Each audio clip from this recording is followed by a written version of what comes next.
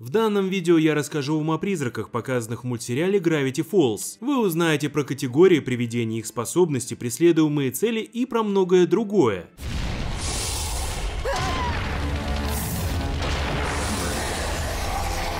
Если вам все понравится, то другие существа из обсуждаемого мультсериала не заставят себя ждать.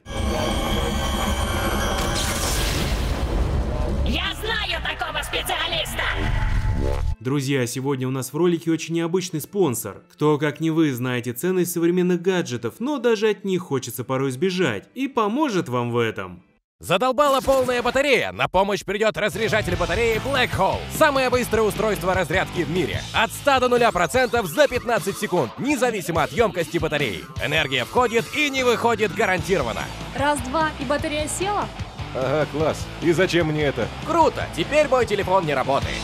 Разряжатель батареи Black Hole, и ты на нуле. Заказывай на blackholepower.com. Ну что, готовы приобрести такое устройство? На самом деле все это, конечно же, шутка. Ведь настоящий спонсор старая добрая темно-фэнтезийная Raid Shadow Legends. Raid это пошаговая коллекционная РПГ, в которой вам придется возглавить банду чемпионов, прокачивать их, снаряжать, водить в рейды подземелья и добиваться респекта на арене, объединяться в гильдии выносить мозг клановым боссам. В рейде огромный выбор персонажей, 16 различных фракций, так что каждый подберет себе чемпиона по вкусу. Героев можно прокачивать не только в инстах и выполняя крутую сюжетку, но и в таверне, просто скармливая им неудачников. Рейд уже доступен на ПК. Ежедневные награды за посещение увеличены. Вместо 90 дней вы будете получать бонусы аж 180. Да притом не только самоцветы и рубины, но и легендарных чемпионов. Например, скиллу окрыленную. Я бы с такой сходил в рейд. Ну и самое крутое, что все это совершенно бесплатно. Скачивайте рейд именно по моим ссылкам в описании и получите хороший стартовые награды. 100 тысяч серебра и крутого чемпиона ворожею. Торопитесь, бонусы доступны только следующие 30 дней. Итак, кто же такие призраки? Это души погибших людей, которые не попали в ад или рай, а застряли на земле. Происходит это по определенным причинам, которые могут быть как совсем безобидными, например, изначальное нежелание покидать мир живых, так и более страшными, например, убийство или желание отомстить. В конце концов, большая часть призраков начинает искать кого-нибудь, кто мог бы их упокоить. Правда, обычно это происходит после того, как они завершили все свои незаконченные дела. В некоторых случаях привидениям вполне комфортно живется и в мире живых, покидать который они не желают. Такие экземпляры обычно привязаны к определенному месту, территорию которого лучше не пересекать и не нарушать покой его обитателей. Ладно.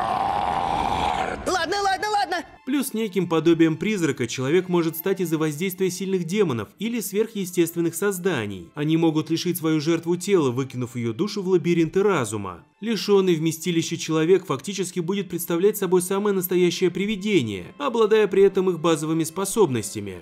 Как ты меня остановишь, если ты не существуешь? Призраки Gravity Falls в соответствии с наблюдениями Стэнфорда Пайнса делятся на 10 категорий. У каждой из них различается характер, способности, преследуемые цели и многие другие моменты. Существа первой категории являются самыми безобидными и обычно не представляют никакой угрозы для окружающих. А вот в десятую категорию входят самые жуткие и страшные призраки, встречи с которыми в большинстве случаев закончатся для человека крайне плачевно. Ясно. Сразу уточню, что в качестве заглушек я буду использовать фрагменты из разных фильмов, в которых встречаются привидения и разные аномальные твари. Сделано это по двум причинам. Во-первых, в мультсериале было показано крайне мало призраков. Во-вторых, все привидения из дневника основаны на тех или иных аналогах из популярной культуры, а потому заглушки будут более чем уместны. Привет! Итак, первая категория, именуемая АУ. Как выяснил Стэнфорд Пайнс, призраки этой группы не представляют существенной опасности для человека. Они покинули мир живых по неудачным, чаще всего безобидным стечением обстоятельств, вследствие чего они всячески стремятся присоединиться обратно к роду человеческому. Причем стремление это обычно носит неутолимый характер. Я уже живой? Как вы понимаете, сделать этого они не могут, а потому все, что им остается, так это пытаться найти себе друзей среди живых. Несмотря на то, что призраки первой категории довольно милые, они могут довести человека до нервного срыва.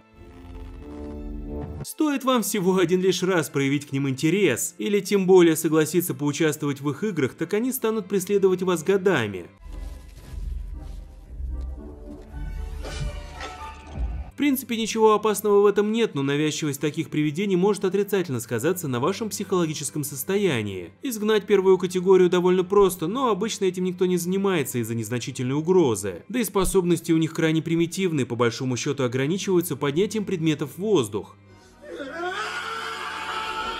Вторая категория призраков называется хулиганами. Они мало чем отличаются от первой категории, за исключением нескольких моментов. Словно самые настоящие гопники, они сбиваются в небольшие группы по 2-3 особи. Только в таком виде они становятся достаточно храбрыми, чтобы нападать на людей и призраков-одиночек. По одному же хулиганы довольно трусливые и будут всячески избегать любых конфликтных ситуаций.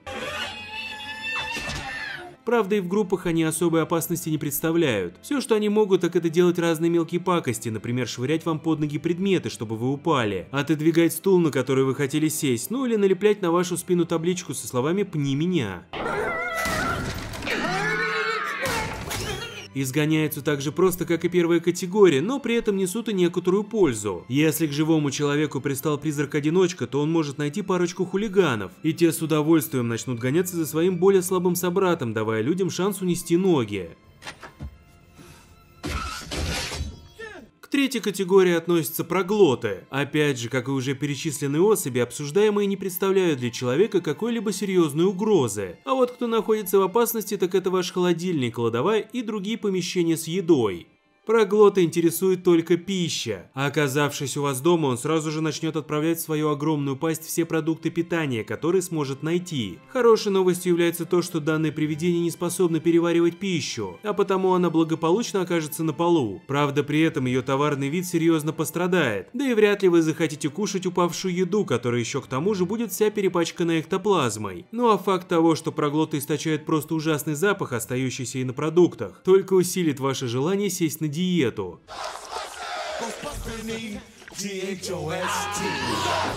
В четвертую категорию входят картины с привидениями и призраки, основанные на картинах. Как понятно из названия, такие существа могут населять почти любые изображения, наблюдая из них за живыми людьми. Мало того, они без особых проблем могут покидать места своего пребывания, чтобы пугать несчастных жертв. Также они легко перебираются с одного изображения на другое, например, с картины на купюры разного достоинства. Он исчез. А ты думал, что он будет с тобой целый день? Самым эффективным способом борьбы с такими призраками является использование серебряных зеркал. Попав внутрь одного из них, эти создания уже не могут просто так из него выбраться.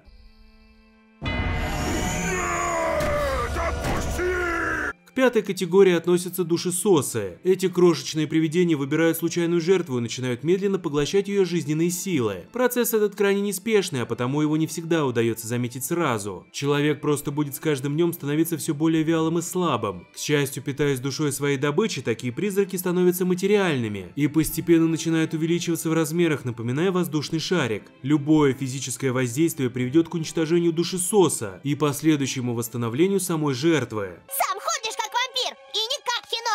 В шестую категорию входят болевые фантомы. Эти дальние родственники синобитов из восставших из ада напоминают готов-мазохистов. Мало того, что в качестве одежды они предпочитают использовать черную кожу, так и все их тело в буквальном смысле утыкано гвоздями, иглами и прочей острой бижутерией. Если призвать такого призрака, то он будет издеваться над вами как физически, так и психологически. Нет, не хочу быть хот-догом!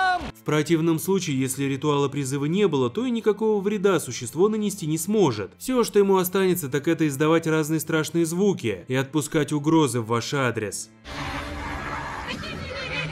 Седьмая категория призраков именуется вечными ключами. Один раз в поколении душа случайного погибшего человека превращается в так называемый вечный ключ. Это потерянное и неприкаянное создание вечно жалуется и ноет, а все потому, что оно не знает, что ему следует делать и куда нужно идти. Целью же его является окаменяющий камень, который относится к восьмой категории призраков. Если они соединятся, то смогут выпустить на волю Крыкскыксла непроницаемого. Кстати, эти персонажи являются неочевидной на первый взгляд, но все же отсылкой к Хранителю Врат и Хранителю Ключей из Охотников за Привидениями. По сюжету они должны были соединиться и открыть проход для Гозера Уничтожителя.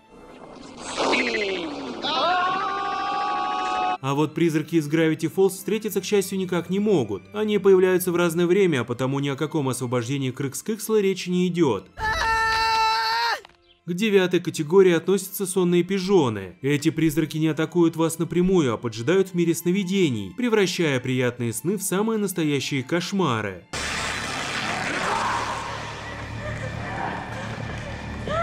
Причем они не просто пугают своих жертв, они доводят их до состояния полного отчаяния, уничтожая на психологическом уровне. И так как дело происходит во сне, то подобные издевательства могут продолжаться целую вечность.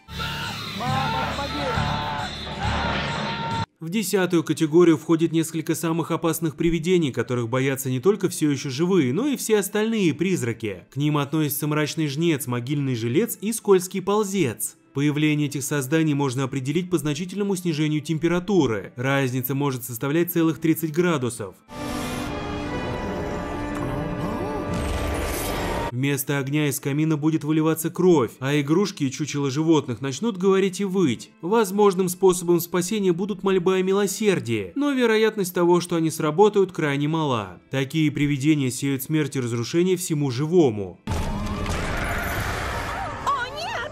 Счастью, почти любых призраков можно развеять одним крайне эффективным заклинанием. Повторяйте вместе со мной. Эксодус демонус ужаснус кошмарус небоярус привидус невидарус уходиус нафигус шамалалала. Теперь мы будем звать тебя мистер Крутой. Молодец, малыш, выдает. Хотя гораздо проще использовать самый надежный способ решения проблемы – убежать.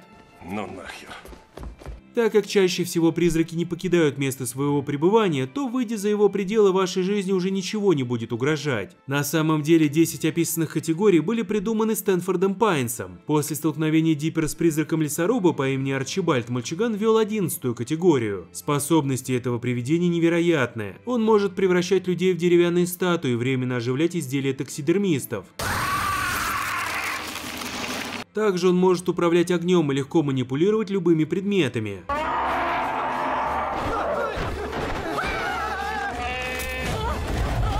Появляются такие призраки после того, как происходит какая-то ужасная несправедливость, приводящая к смерти несчастного человека. Лишь искупление подобного преступления может заставить духа отказаться от мести и навсегда исчезнуть. Кстати, Арчибальд является предком Венди, если вдруг вы об этом не знали. Расслабься ты, все не так страшно. Это все на сегодня. Если вам понравилось, ставьте свой призрачный палец вверх и оставляйте комментарии эктоплазмой. Хватай ее! Спасибо и помните, что не стоит злоупотреблять улыбашками. А ты что думаешь?